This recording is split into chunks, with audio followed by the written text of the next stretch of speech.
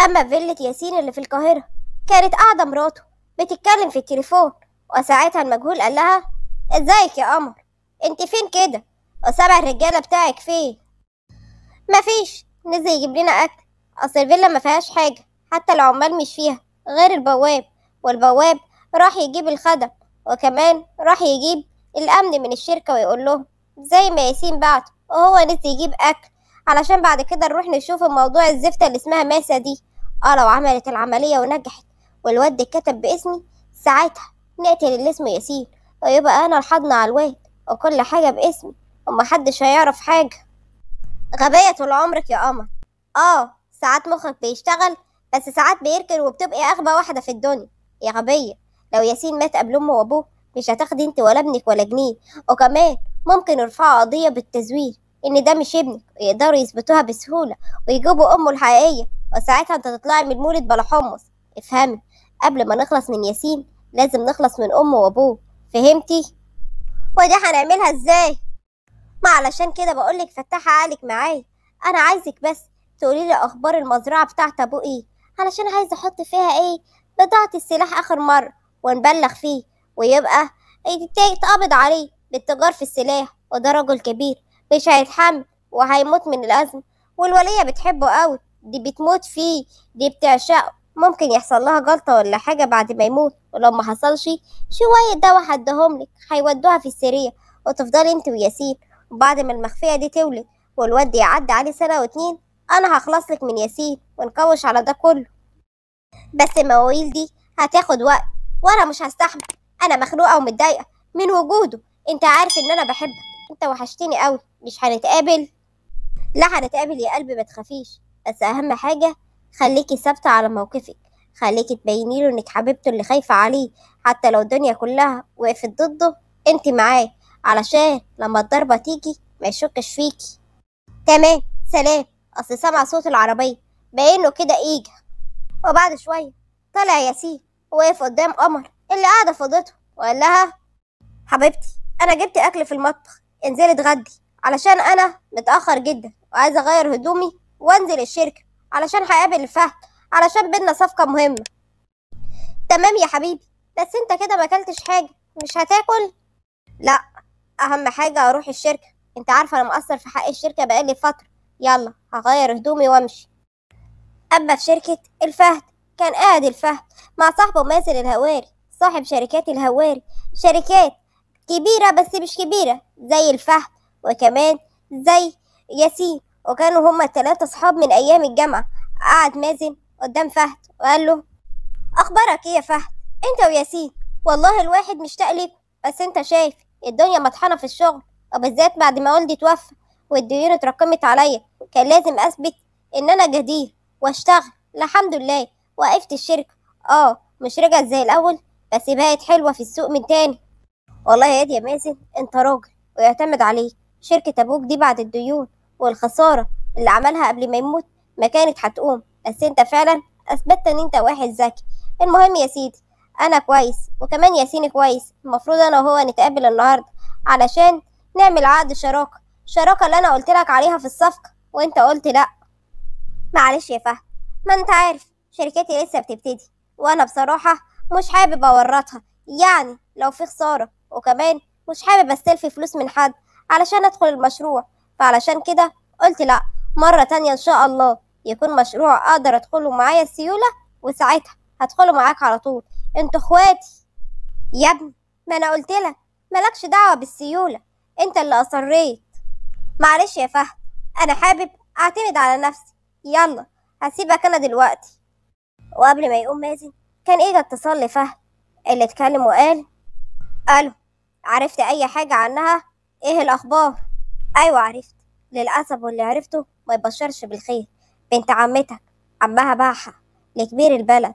وللأسف كبير البلد ده بيكون نسر الصعيد. ياسين صاحبك. ودلوقتي هو واخدها المستشفى حاجزها هناك علشان تعمل له عملية الحقن المجهري. البنت غلبانة جدا وطيبة. اتحول وش فهد للغضب وكأنه هيحرق الدنيا كلها قدامه. وقال بغضب بقى أنا الفهد؟ يعمل كده في بنت عمتي؟ والله ما هرحمه. لو هو نسر الصعيد فأنا الفهد وهعرفه إزاي يعمل كده. بقول لك إيه هو جاي لي دلوقتي الشركة. لو ما صفاش واداني بنت عمتي بالذوق والله لا أنتوا تصفوه وتجيبوها لي. فاهمين؟ تمام يا باشا. اهدى هنعمل كل اللي انت عايزه. ده كله كان تحت نظر مازن اللي مستغرب جدا. وبعد ما قفل فهد قال له باستغراب في إيه يا ابني؟ مالك؟ وإيه اللي عصبك كده؟ وياسين دخله إيه في عصبيتك عمتي كانت متجوزة واحد على قد حاله وجدي ما اعترفش بيه فطردها وبعد كده بعد ما جدي مات حاول بابا يدور عليها بس مش لقاها وطلب مني قبل ما يموت ان أدور عليها. وفعلا دورت عليها لحد ما جالي معلومات عنها من أسبوع إن هي في بلد عمها وبلد أبوها وجالي اسم أبوها. وبحثت والنهاردة اتفاجئ إن صاحبنا الأستاذ ياسين متجوزها وهي لسه عندها 15 سنة وكمان واخدها مستشفى علشان يعمل لها حقن مجهري علشان مراته مش راضية. لا وده كله ببجاحته كان بيكلمني علشان أنا أكلم الدكتور. والله لو ما رجع لي بنت عمتي لا أخليه يخسر حياته ويخسر كل فلوسه. طب اهدى اهدى وفهمه. إحنا طول عمرنا أصحاب ومش هيحصل ما بينا مشاكل علشان أي حاجة. وأكيد لما يعرف الموضوع هيسيب بنت عمتك. بس اهدى انت. معلش ضايقتك بس بصراحة متعصب. وفي الوقت اللي كان الفهد متعصب شاف ياسين اللي داخل وهو لابس زي شغل مش زي البلد. وهو لابس بدلة رسمية جدا وأنيقة عليه واقف متعصب. وساعة ما شافه مازن صاحبهم متعصب كده واقف هو كمان. كان ياسين داخل مستغرب بس اتفاجئ إن الفهد بيفيح فيه بصوت عالي. وبقول له اسمعني يا ياسين أنا بقول لك أهو قدام مازن علشان مش نخسر صحوبيتنا دلوقتي أهو تطلق ماسة وتبعتها الفيلا عندي. ولإلا أنت اللي هتجيبه لنفسك وساعتها هتقلب من صديق لعدو وأنت عارف إن عدوتي مش سهلة أنت اتجننت يا فهد بتهددني إن كنت أنت الفهد فأنا نسر الصعيد وأنت عارف أنا أقدر أعمل إيه كويس. بس سيبك أنت بتهددني علشان أرجع لك مراتي بيتك ليه إن شاء الله؟ هي مراتي تخصك في إيه؟ أنت اتجننت باين عليك. لا ما اتجننتش يا نسر الصعيد. رايح تشطر على عيلة عندها 15 سنة ما عندهاش أهل. بس لحظك الأسود ماسة طلعت بنت عمتي اللي أنا قايل لك عليها وبدور عليها من يوم ما أبويا مات. وعمري ما هسمح إنك تبهدلها. قسما بربي لو ما طلقتها وبعتها الفيلا عندي معززة مكرمة لهمحي اسمك من السوق. وأنت عارف إن أنا قد كلامي. آه بنت عمتك. طب اسمع بقى يا فهد. أنت ما تقدرش تعمل لي أي حاجة. أنت آه بتهدد وبتنفس بس مش معايا أنا وأنت عارف ده كويس وعارف قوتي إيه. أما بالنسبة لبنت عمتك فمش هطلقها غير لما أحصل على المولود اللي أنا عايزه. وده كان اتفاق بيني وبينها وبين عمها اللي تنزلها عن حضانتها. عاوز تروح للمحاكم؟ اتفضل روح. بس ساعتها تقولي هيقبلوا. أنت الوصي عليها ولا عمها؟ بلاش تخليني أقلب على اليمة التانية. عمها هيكون الوصي عليها وأنا هعذبها من ناحية وعمها. اتقي الشر صدقني. ساعة ما تبعتلي تجيب ابني على وش الدنيا هسيبها لك وهبعتها لك على بيتك. بس طول ما ابني ما جاش على وش الدنيا ما تفكرش إن أنت ممكن تاخدها. وسلام. آه وبالنسبة للعقد اللي ما بينا انتهى. أنا مش عايز شراكة معاه. أحسن. في ستين داهية العقد وفي ستين داهية أنت وصحبيتك. والله بنت عمتي هعرف أخليها إزاي ترجع بيتها. واستنى وشوف. هستنى وأشوف يا فهد. بالإذن. وخرج ياسين وهو متعصب بس بيحاول يبان إنه بارد علشان يستفز فهد أكتر. أما فهد كان متعصب مازن حاول يهديه وقال له يا ابني كان المفروض تهدى معاه. أنت عارف ياسين عمره ما يتنازل عن صحوبيتنا عشان أي حاجة بس إن أنت تهدده وتلوي دراعه أكيد هتخسر أي حاجة غير إنك تهدده. يلا أنا هطلع أشوفه وأتكلم معاه. يمكن ربنا يهديه. حاول يا مازن. تخليه يرجع بنت عمتي من غير ما يحصل لها أي حاجة يرجعها سليمة. علشان لو عمل اللي في دماغه صدقني لو هانت ان أقتله مش هتهون لحظة وهقتله. وبعد حوالي أربع ساعات كان قاعد فيهم الفهد متعصب مش طايق حد لدرجة إن هو مسك في البنت اللي بيحبها الصغيرة وعيطت وما هموش ده كله. وكان متعصب ورايح جاي في المكتب لحد ما دخل عليه الصقر المجهول اللي محدش يعرفه. أول ما شافه قال له إيه اللي جايبك هنا؟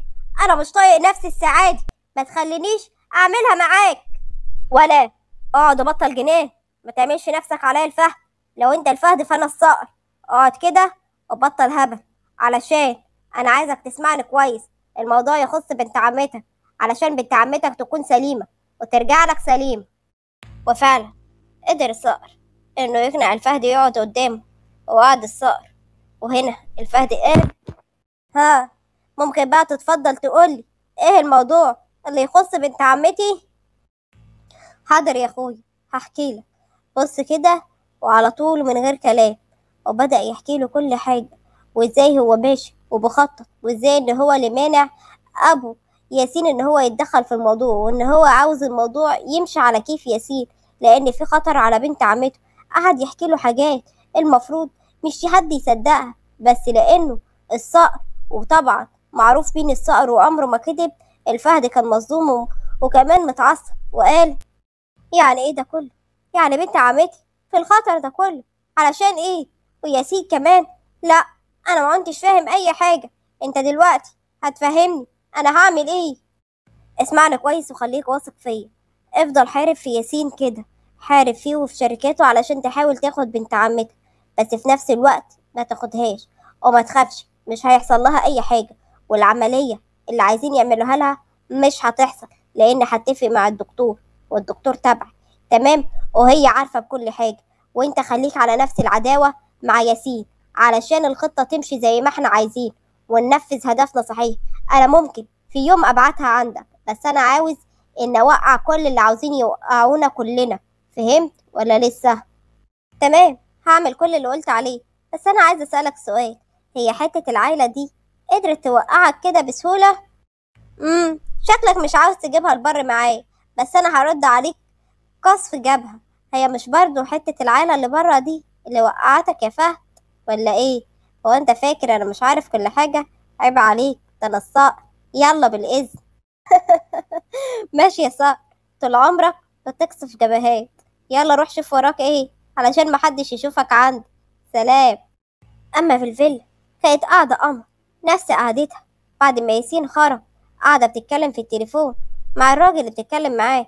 وساعتها قال لها اسمعي يا حبيبتي أنا جات لي النهارده أخبار طازة إن الشركة كانت مولعة بين فهد وكمان ياسين جوزي ومنه عقد الشراكة وطلعت البت اللي هي مرات جوزك دلوقتي قريبة الفهد. أنا مصادري موثوق فيها والواحد من الشركة قال لي إن هما الاتنين مش طايقين بعض وهيعلنوا الحرب. وأخيرا حاجة من خططنا نجحت وقدرنا نوقع ما بينهم. طيب يا حبيبي بس قولي يا ترى العداوة دي هتفضل موجودة إزاي؟ ما يمكن يحلوها.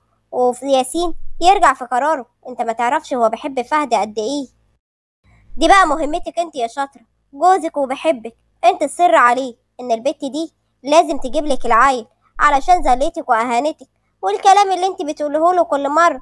وانت عارفة هو عندك ضعيف الشخصية وأي حاجة تهون علشانك. وانتي تقدري تلعبي على الحبل ده كويس. فهمتيني؟ تمام فهمت. بس ممكن الفهد ياخد البنت وبعد كده يهرب بيها. وانت عارف إن كده مخططاتنا كنا هتبوظ. إحنا مستنيين الولد اللي هي هتجيبه. لا ما تخافيش يا قمر. مش هيقدر يعمل كده. علشان لو عمل كده هيلاقي قدامه ياسين. الاتنين أقوياء زي بعض وهيقدروا يلعبوا مع بعض. وعلشان فهد يقدر ينقذ بنت عمته هتكون جابت الولد. ما تنسيش إن العملية خلاص قدامها أسبوع ولا حاجة. يلا أنا هقفل دلوقتي. وما تنسيش اللي أنا قلتلك عليه. قفلت قمر مع الشخص ده وبعد ما قفلت وشها اتحول للغضب كأنها شطار وقالت بغضب. ولحد هنا يا أحلى متابعين في الدنيا دي كلها تكون انتهت حلقتنا تفتكروا مين اللي هيقدر يسد التاني؟ الفهد ولا كمان نسر الصعيد؟ طب تفتكروا مين الصقر ده؟ وتفتكروا قمر بتكلم مين؟ ويا ترى إيه اللي عرف قمر؟ هي وشريكها إن حصلت مشادة. يا ترى فعلا في عينين للشخص ده في قلب الشركة لدرجة إنه يعرف ده كله؟ ممكن يكون هو اللي باعت السكرتيرة اللي حبها الفهد علشان توصلوا الأخبار ويقدر يوقعهم في بعض ولا في إيه بالظبط؟ مستنية رأيكم في التعليقات وبتمنى إن الحلقة تكون عجبتكم وإذا عجبتكم لا تنسوني باللايك والاشتراك في القناة وتفعيل زر الجرس جرس.